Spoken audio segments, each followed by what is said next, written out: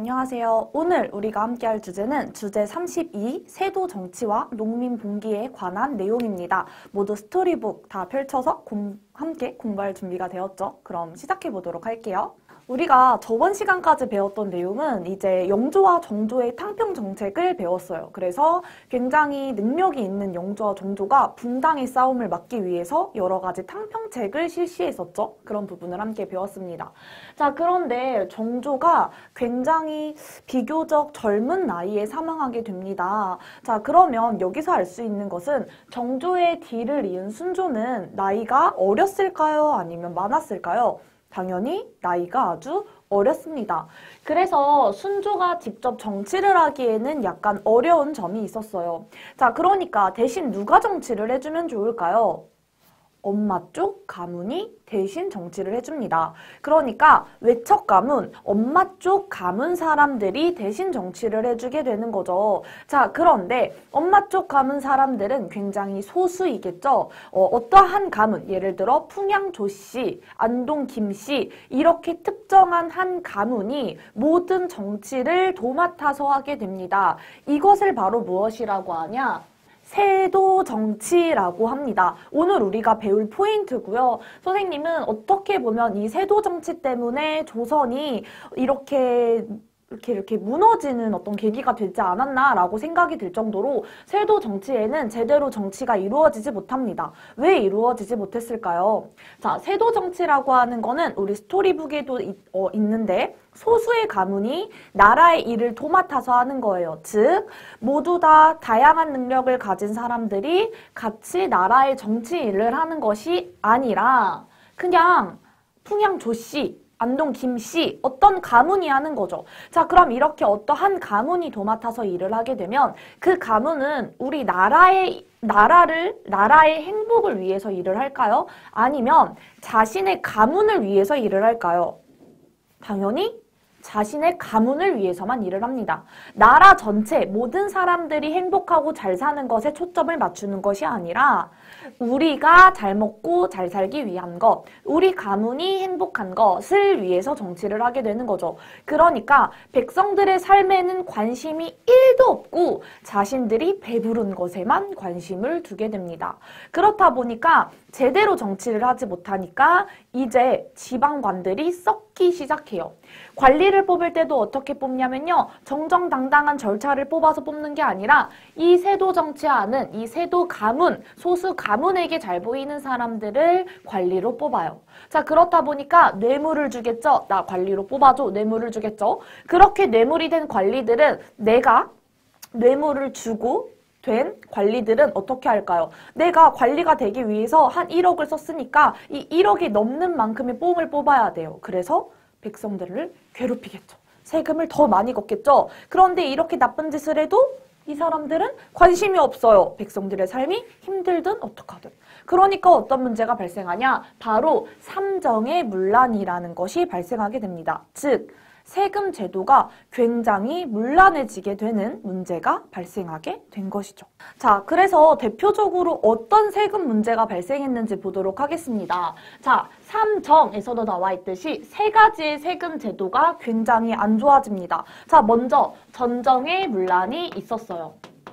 자, 우리가 조선시대에서 세금을 걸어, 걷는 여러 가지 이제 세금 제도가 있었는데요. 그 중에 하나는 토지에 부과하는 세금이었어요. 토지에서 작물이 자라나면 그 작물에 대해서 이제 세금을 걷는 제도가 있었는데요. 부당하게 걷게 되는 거죠. 예를 들어서 이 땅은 A라는 땅은 절대로 쓸 수 없는 땅이에요. 농사를 지을 수 없는 땅이에요. 그런데 이 땅에다가도 세금을 부과합니다.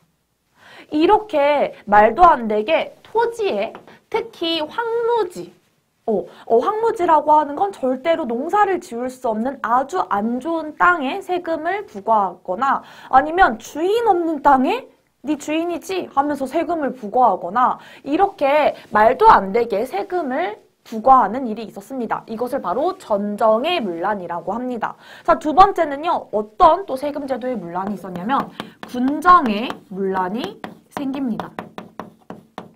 자, 군정이라고 하는 세금 제도는 뭐였냐면요. 자, 군대, 이제, 어, 이때도 군대에 가서 전쟁이 일어나는 걸 대비하기 위해서, 그런데 항상 전쟁이 일어나는 것이 아니니까, 전쟁이 안 가는 대신에 군포, 옷감, 이런 것들을 대신 매 연마다 내야 했어요. 나라의 세금으로. 자, 그런데, 이거 어떤 사람에게까지도 세금을 걷냐면, 이미 죽었어요. 이미 죽었는데 이 죽은 할아버지한테도 이 할아버지 가족한테 찾아와서 이 할아버지의 군대에 관련된 세금까지 내라고 하는 거예요. 어, 할아버지가 이미 죽었는데. 자, 그리고 또 어떤 문란이 있었냐면요. 이미 이, 제 막, 막 태어난 깐난 애기인데 이 깐난 애기한테도 군대에 관련된 세금을 내라고 찾아옵니다. 이게 정말 말이 안 되는 거죠. 자, 이렇게 군대에 관련된 세금의 문란, 군정의 문란이 발생합니다. 자, 그리고 가장 극심했다고 알려지는 환곡이 있습니다.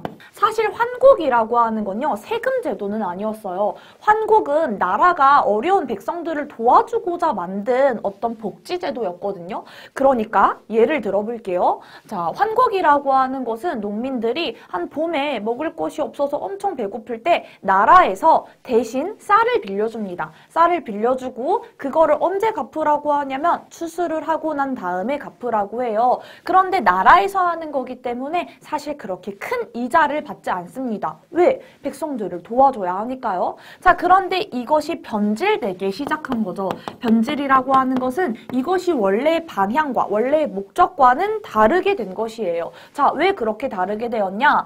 굳이 필요하지 않은데 억지로 빌려줘요. 어, 나, 나 돈이 안 필요한데요? 근데 억지로 빌려주는 거예요. 억지로 빌려줘 놓고 가을에 훨씬 훨씬 많은 쌀을 걷습니다. 자, 또 어떻게 하냐면요. 빌려줄 때요. 쌀을 빌려주는 게 아니라 쌀 반, 모래 반 이렇게 빌려줘요. 그리고 가을에 거둘 때는 진짜 깨끗하고 맛있는 쌀로만 받아요.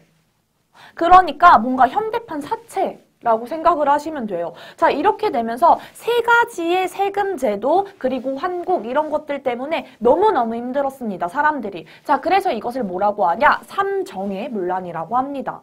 그래서 이제 농민들은 참을 수가 없겠죠. 그래서 이 조선 말에는 농민 봉기가 많이 일어나는데 대표적인 농민 봉기를 알아보도록 하겠습니다. 먼저 홍경래의 난입니다.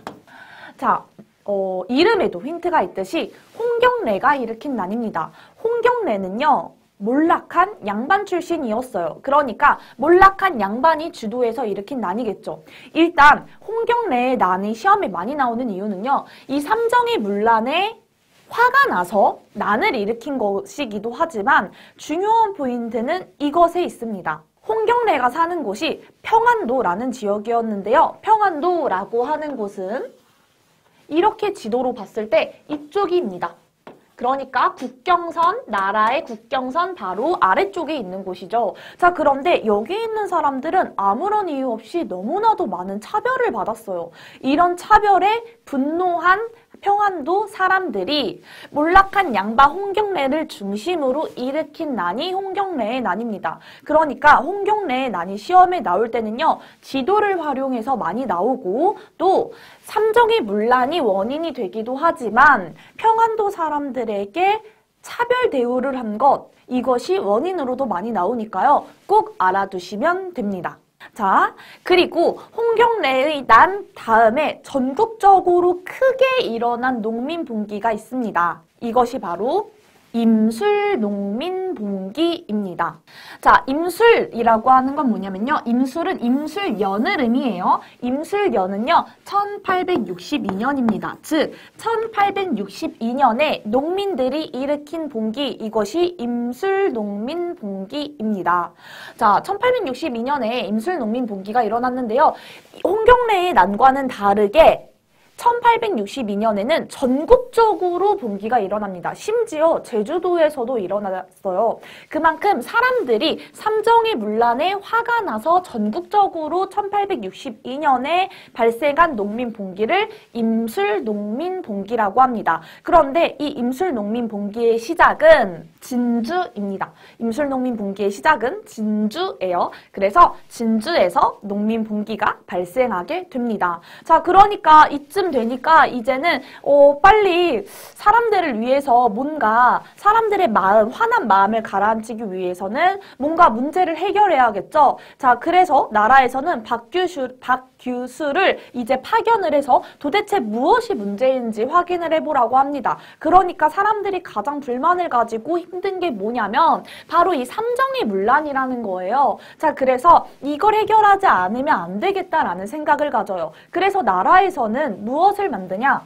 삼정 이정청을 만듭니다. 어려운 게 아니에요. 삼정의 문제를 해결하기 위한 어떤 기구를 만들게 된 것이죠. 자, 그런데 이 기구를 만들고 굉장히 어, 삼정의 문제를 적극적으로 해결하려고 했다면 아마도 역사는 조금 바뀌었을지 몰라요. 하지만 만들어졌지만 제대로 근본적인 문제를 해결하지 못했고 왜? 세도 정치에서 정치하는 사람들이 크게 관심이 없었다. 그랬기 때문에 이 삼정 이정청이 만들어졌지만 제대로 문제가 해결되지 못해서 사람들의 힘든 삶은 계속 지속되었다라고 하는 것을 알아두시면 될 것 같습니다. 그래서 오늘 은 소수의 가문이 나라를 장악했을 때 생기는 문제들과 이런 문제들로 인해서 농민 봉기가 일어난 것들을 함께 알아보았습니다. 그러면 책의 스토리북에 있는 밑에 퀴즈 풀어보고 마무리해 보도록 할게요. 자, 먼저 74쪽 보겠습니다. 삼정의 문란에 대해 서로 관련 있는 것을 바르게 짝지어 볼게요. 자, 1번. 농사 짓지도 않는 땅에 세금을 부과한 것은 무슨 문란이었죠? 전정의 문란이었습니다. 자, 두 번째. 갓난아이에게도 군대와 관련된 세금을 걷었어요. 이것은 어떤 문란이죠? 바로 군정의 문란이었습니다. 세 번째. 봄에 쌀을 강제로 빌려주고 가을에 많은 이자와 함께 갚도록 한 것. 이것은 무엇의 문란이었죠? 바로 판곡의 문 란이었습니다. 자, 75쪽 농민분기에 대한 설명에 동그라미 X 표시를 함께 해보도록 하겠습니다. 1번, 홍경래의 나는 잘못된 정치 상황과 더불어 함경도 사람들을 차별하자 일어났나요? 함경도? 함경도가 아니라 평안도가 맞겠죠. 자, 두 번째, 1862년 임술 농민분기는 진주를 계기로 전국에 퍼졌나요? 말했죠? 진주를 시작으로 전국에 퍼졌다고 이야기했습니다. 세 번째, 조선 정부는 삼정 이정청을 세워서 세금 문제를 해결하고자 노력했나요? 네, 노력은 했습니다. 그럼 여기까지 할 거고요. 우리 워크북에서 오늘 해당되는 주제를 뽑아서 함께 공부해 보도록 하겠습니다.